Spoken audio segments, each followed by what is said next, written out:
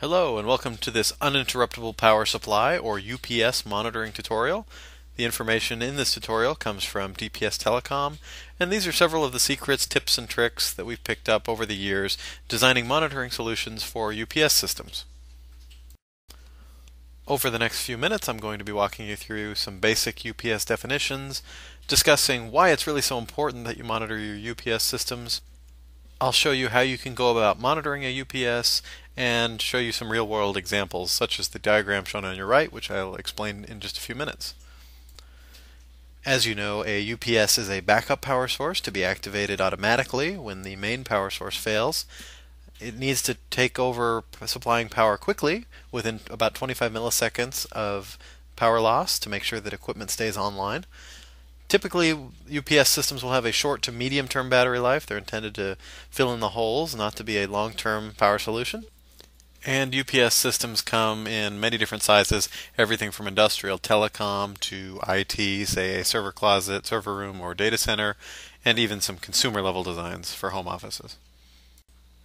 In the telecom and IT environment where we'll be focusing today, uh, why is it so important to monitor your UPS? Well, there are quite a few really expensive things that can go wrong if you don't have good visibility of your UPS systems.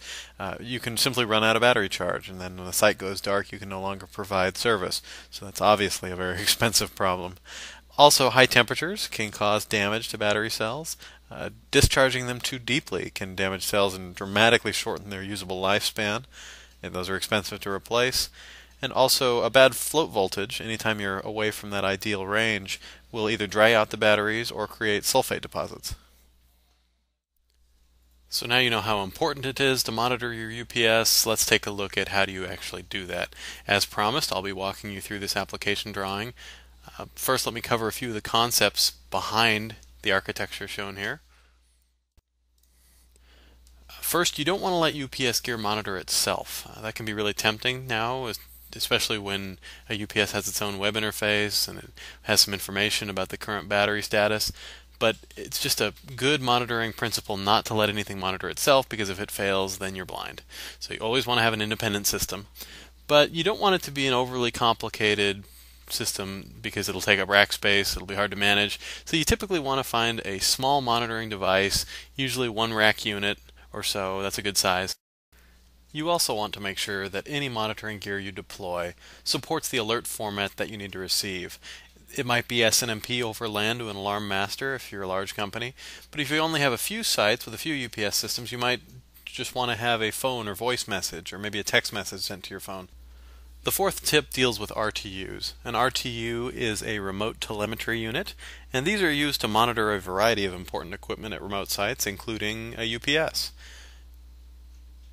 If you have an RTU to monitor your UPS, however, you may want it to have its own built-in battery backup.